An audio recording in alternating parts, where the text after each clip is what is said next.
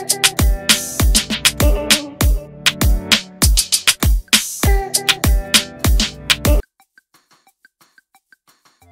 สนาธิการทหารบก ต้อนรับผอบอหน่วยสงครามกาศเข้าเยี่ยมคำนับอย่างเป็นทางการ เสนาธิการทหารบกให้การต้อนรับผู้บัญชาการหน่วยบัญชาการสงครามพิเศษกองทัพบบกสหรัฐอเมริกาในโอกาสเข้าเยี่ยมคำนับอย่างเป็นทางการ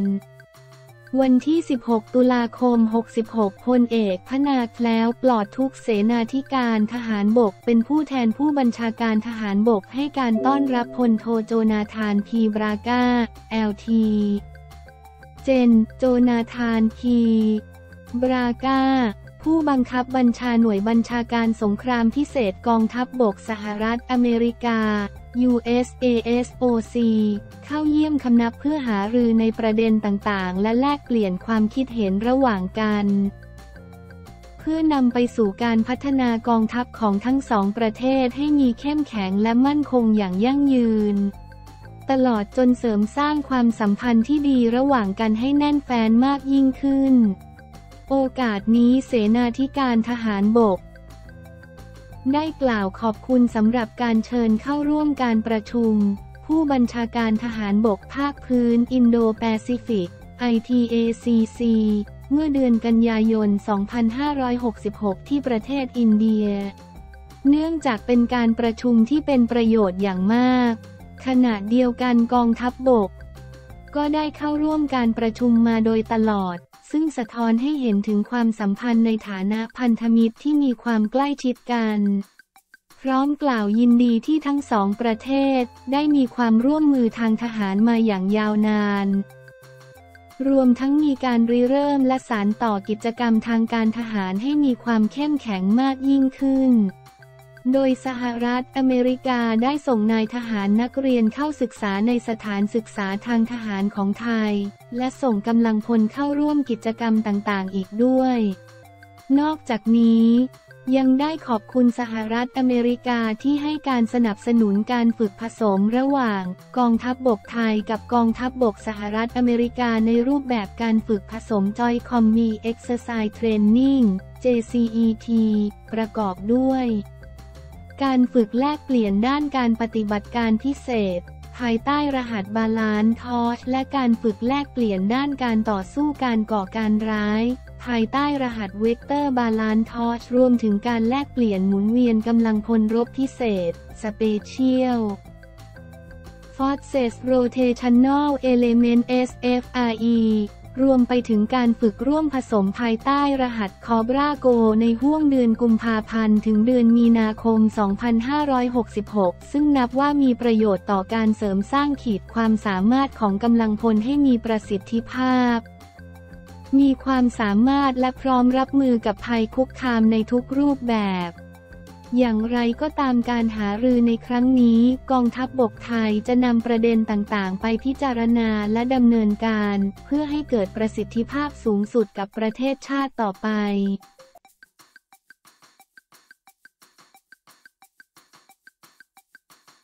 เมียตำรวจหึงบุกตบสาวร้านหมูกระทะ ยอมไหว้ขอโทษจ่ายค่าทำขวัญหลังเข้าใจผิดจบด้วยดีเมียตำรวจหึงบุกตบสาวร้านหมูกระทะ ยอมไหว้ขอโทษจ่ายค่าทำขวัญหนึ่งหมื่นบาทหลังเข้าใจผิดคิดว่าเป็นชู้กรณีเมียตำรวจ บุกตบสาวพนักงานต้อนรับลูกค้าร้านหมูกระทะ ชื่อดังอำเภอเมืองจังหวัดนครสวรรค์จนได้รับบาดเจ็บโดยมีสาเหตุมาจากเมียของฝ่ายตำรวจเข้าใจผิดว่าสาวร้านอาหารแอบคบกับสามีทำให้เรื่องราวบานปลายเลยเถิด จนถึงขนาดตำรวจที่เป็นสามีของมือตบจะไปเอาเรื่องกับเจ้าของร้านอาหารที่ปล่อยคลิปวันที่ 16 ตุลาคม 66 นางสาวเอ นามสมมุติ อายุ 21 ปี พนักงานร้านหมูกระทะเดินทางมาที่สอพอหนองปลิง เพื่อพูดคุยไกล่เกลี่ยต่อหน้าพนักงานสอบสวนนายปืน นามสมมุติ ตำรวจเปิดเผยว่าเรื่องที่เกิดขึ้นมันเป็นความผิดของตนคนเดียวและยอมรับผิด โดยไม่มีข้อแม้ที่ทำให้เพื่อนตำรวจรุ่นที่ต้องเกิดเรื่องทะเลาะกับภรรยาแล้วลุกลามบานไปกันใหญ่แต่ตนยืนยันว่า ตนไม่ได้มีเจตนาทำให้ครอบครัวเขาต้องไปมีเรื่องทะเลาะอะไรกับใคร ซึ่งก็เป็นเรื่องที่ไม่คาดคิด เนื่องจากวันที่ไปนั่งร้านอาหารวันนั้น ตนอยากจะชวนให้รุ่นพี่ตำรวจคนนี้ ออกมาร่วมวงสังสรรค์ก็แค่นั้นเอง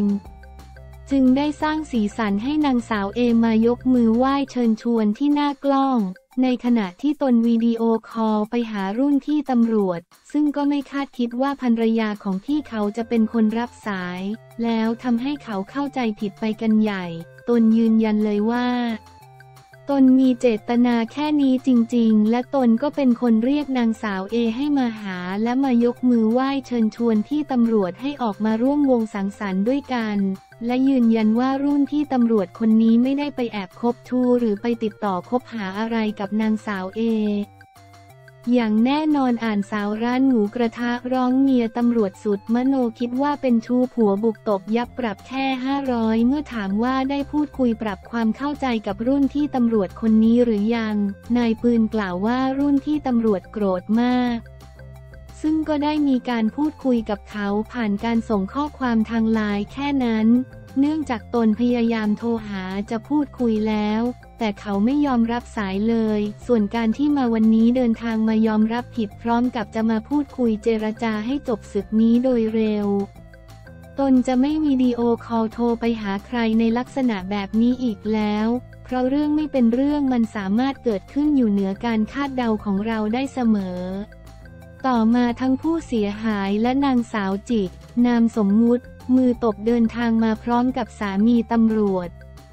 เข้าไปยังห้องพนักงานสอบสวนสภหนองปลิง เพื่อพูดคุยเจรจาไกล่เกลี่ยกันเพียงสองคนเท่านั้น ซึ่งก็ใช้เวลาประมาณครึ่งชั่วโมง ทั้งคู่ก็เดินออกมาแต่เรื่องราวจึงจบลงด้วยดีโดยทางฝ่ายภรรยาตำรวจ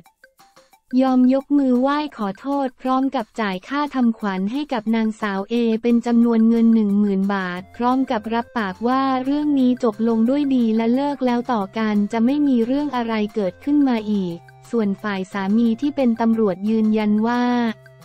ไม่ได้ไปรู้จักคบชู้อะไรกับนางสาวเอเลย สักนิดพร้อมยืนยันกรณีจะไปเอาเรื่องกับเจ้าของร้านอาหารว่า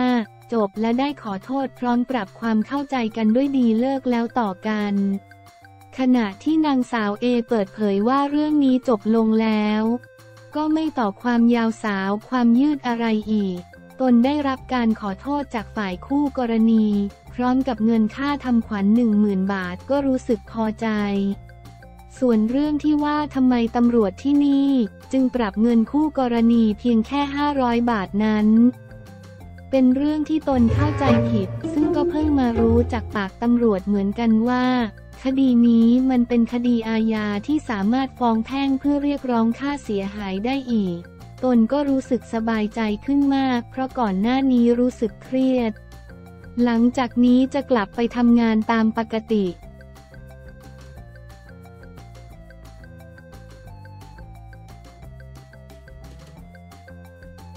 ทอชงของงบประมาณปี 67 กว่า 3.8 แสนล้านบาท เน้นโครงการสนองนโยบายบิ๊กอุ้ม ศึกษาธิการชงของงบประมาณปี 67 กว่า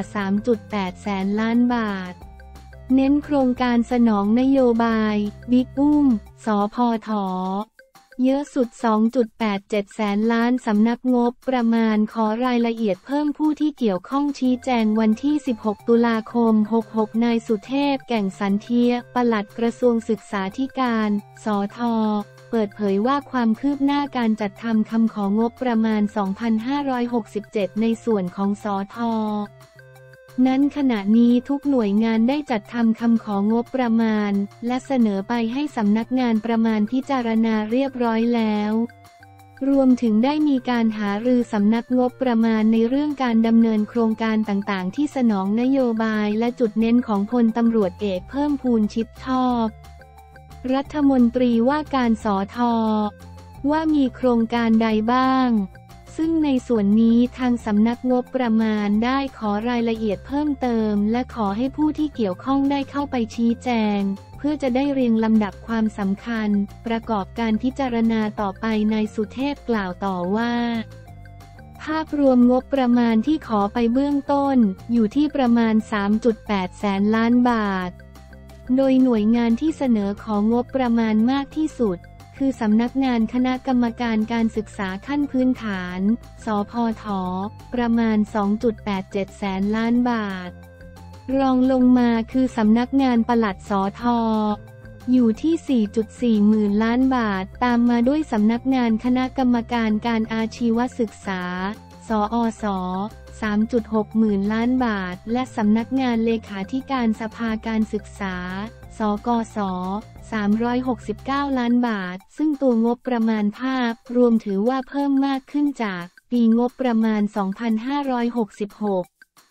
ซึ่งได้รับอยู่ที่ประมาณ 3.27 แสนล้านบาท ทั้งนี้การดำเนินการทุกอย่างจะต้องแล้วเสร็จตามกรอบเวลาที่กำหนดคือสำนักงบประมาณจะพิจารณาเสนอให้คณะรัฐมนตรี คณะรัฐมนตรี เห็นชอบร่างพรบงบประมาณรายจ่ายประจำปีงบประมาณ 2567 ปลายเดือนธันวาคม 2566 เพื่อเสนอเข้าสู่การพิจารณาของสภาผู้แทนราษฎร วาระหนึ่งในเดือนมกราคม 2567 คณะกรรมาการ กมท จะพิจารณาในช่วงเดือนมกราคม มีนาคม และเข้าสู่การพิจารณาของรัฐสภาในวาระสองและสามในเดือนเมษายนโดยคาดว่าจะสามารถเบิกจ่ายงบประมาณปี 2567 ได้ในเดือนพฤษภาคม ระหว่างนี้ทางสำนักงบประมาณให้แต่ละหน่วยงานใช้จ่ายงบประมาณ โดยใช้ฐานของปี 2566 ไปพลางก่อน ดังนั้นแต่ละหน่วยงานจะต้องนำมาจัดลำดับความจำเป็น ขณะเดียวกันเมื่อจัดทำงบประมาณ 2,567 เสร็จแล้ว แต่ละหน่วยงานจะต้องเร่งจัดทำงบประมาณ ปี 2,568 ทันที